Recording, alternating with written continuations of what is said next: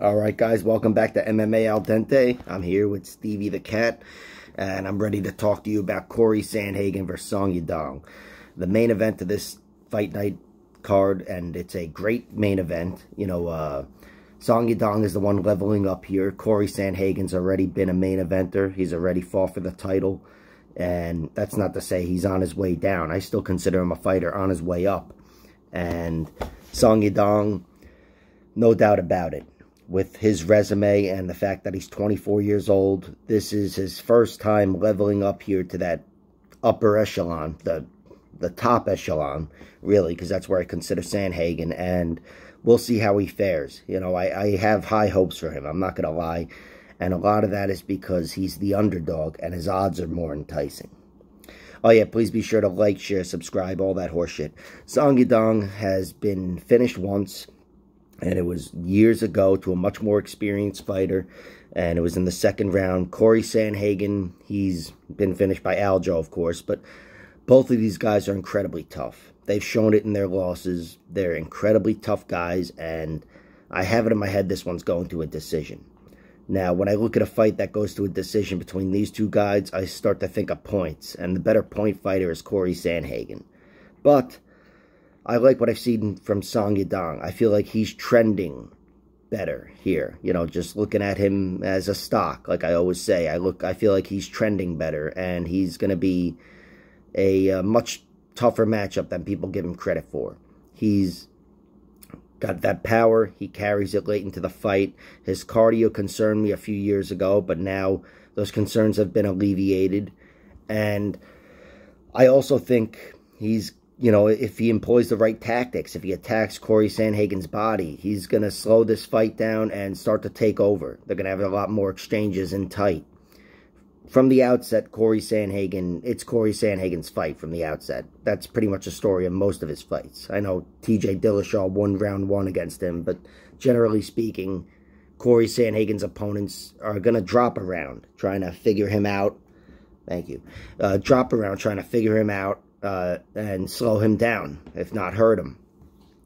I think Song Yadong will, after round one, you know, uh, I think any big moment in the fight will go to Song Yadong. That's just how I feel. I feel like his right hand's going to cash in, and even though I don't expect it to put Cory Sandhagen away, which is a possibility, it could he could put him away, I do think it's enough to put up points, slow Cory down, and change the course of the fight. Because Cory Sandhagen's going to be doing very well in round one. And I know this seems like somebody who just watched Cory Sandhagen versus Peter Yan and thinks that's how every Sandhagen fight is going to go. I'm aware that Peter Yan is an exceptional fighter.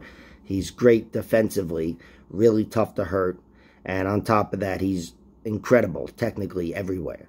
And he is a guy who's able to fight at a high pace, not the highest pace. Like Cory Sandhagen will come out and start at a 10, and then that'll turn into a uh, an 8, and then a 7, and then a 4, and then whatever the fuck. You know, he slows down. And Piotr Yan just, he's able to ride at like 7.5, 8 for the whole fight.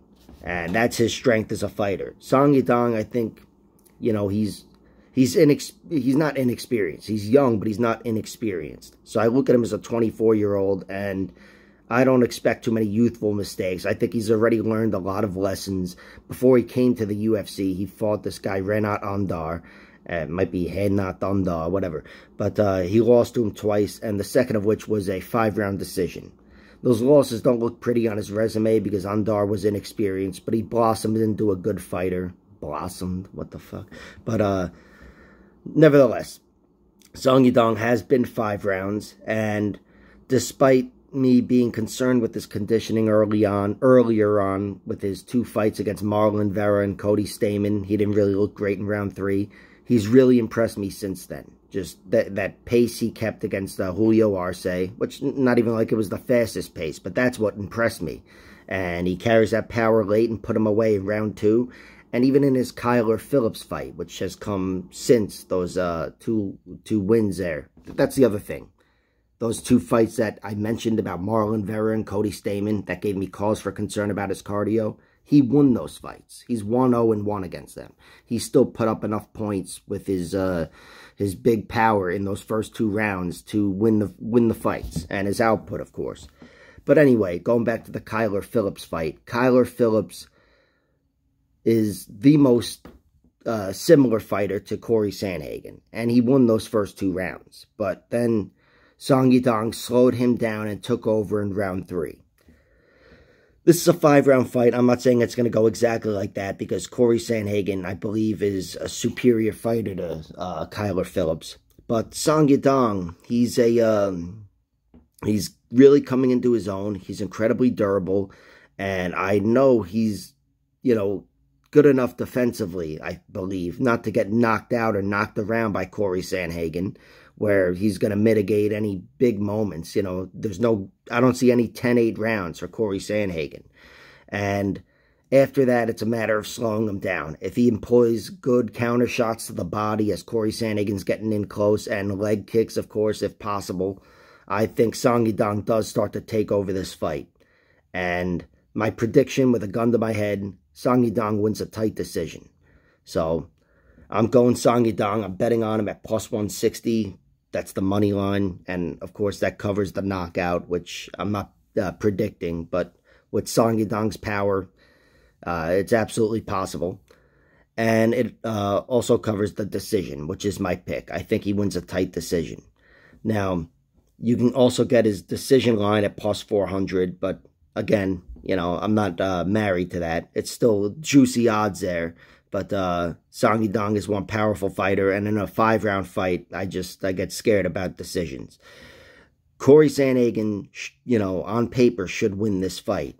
I just think, you know, of all uh, Sandhagen's opponents, Song Yadong could look to the John Lineker fight and say, I can do that. I can do that and I can be that guy. And broadly speaking, they are very similar fighters. And again, Cory Sandhagen won that fight but it was a razor-thin split decision, and he wasn't able to work his magic. You know, it's totally different from a fight like he had with Assunção. Uh, John Lineker is that guy who's just a tank with harder power, and he uses it very well. He stalks his opponents. He doesn't make them look good. He was throwing off Sandhagen's movement, and I think uh, Yadong is perfectly cap perfectly capable of fighting that fight. So Will it be the Kyler Phillips fight against Song Yadong or the John Lineker fight against Cory Sandhagen? I'm leaning more towards a tight, close fight like uh, the Lineker fight. And I also think Song Yadong is going to be the one uh, flourishing at the end. I almost said blossoming again. But he's going to be the one doing well in the end, getting stronger or getting less weak. Uh, Cory Sandhagen, that's just one thing with him where he looks so good when he's fighting at 100% that even if the fight is close, he looks so drastically uh, depleted and diminished by the time he's, you know, in the middle of a deep fight where he's not dancing around anymore and he's been chopped up a little bit that it's just not good optics. And I think Song Yadong is going to be looking better. I favor him to win a decision. All right. Thank you guys for tuning in, and uh, please be sure to like, share, and subscribe. All that horseshit.